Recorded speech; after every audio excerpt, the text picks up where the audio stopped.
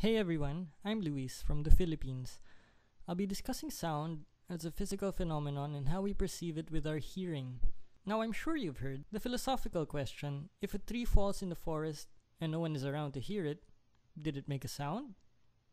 Well, hopefully, by the end of this short lecture, we can answer that question. So let's begin.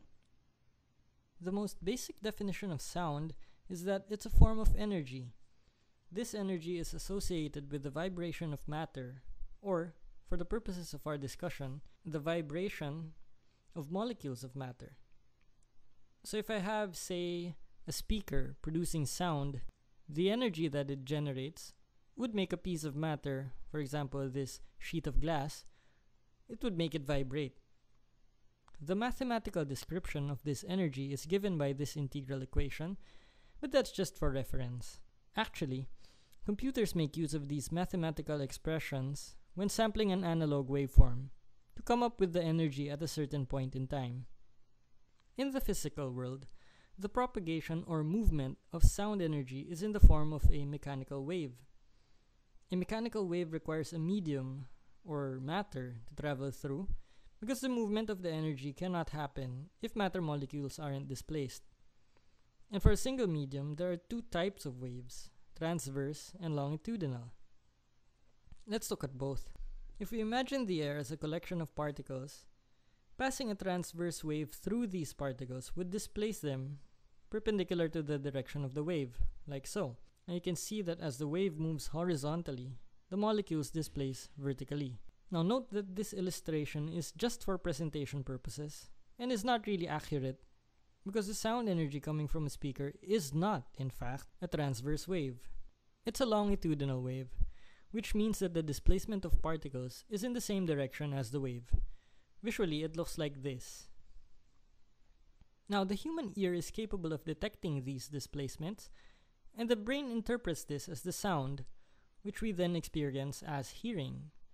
As the energy enters our ear canal, the bones inside transmit the motion to the cochlea. I'd like to show you an animation of what happens inside the cochlea. This is a free for educational use video. You can find it on YouTube, and it shows the inner structure of the cochlea. Now it's coiled inside our ear as a sort of a shell-shaped object, but if we unroll it and peer inside, we can see that it's basically a tube filled with fluid, with a membrane running inside, which is the pink thing shown here. And depending on the properties of the sound wave, the corresponding area in the cochlea will vibrate with a certain intensity.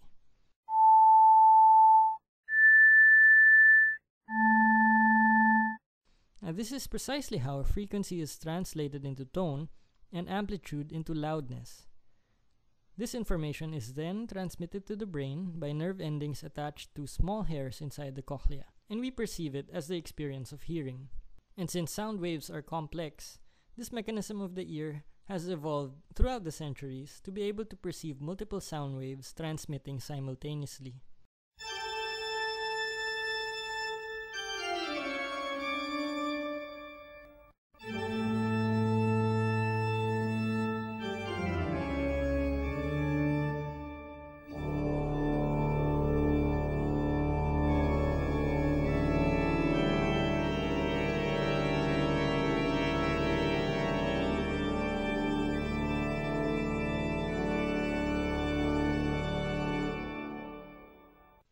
So from the difference between the definition of sound energy and the experience of hearing, we can conclude that if a tree falls in the forest and no one is around to hear it, it still makes a sound, because sound is just an energy form moving through matter particles.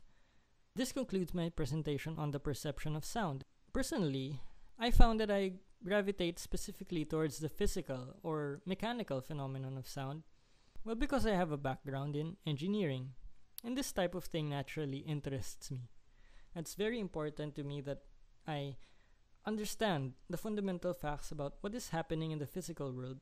So I did my own research and am now forwarding my findings to the class as I described in the video. As an action step for you, and to help me out in the future, please comment below regarding what you liked or disliked about my video. So thanks for watching, and I'm excited to see the other assignment submissions as well. Until next week!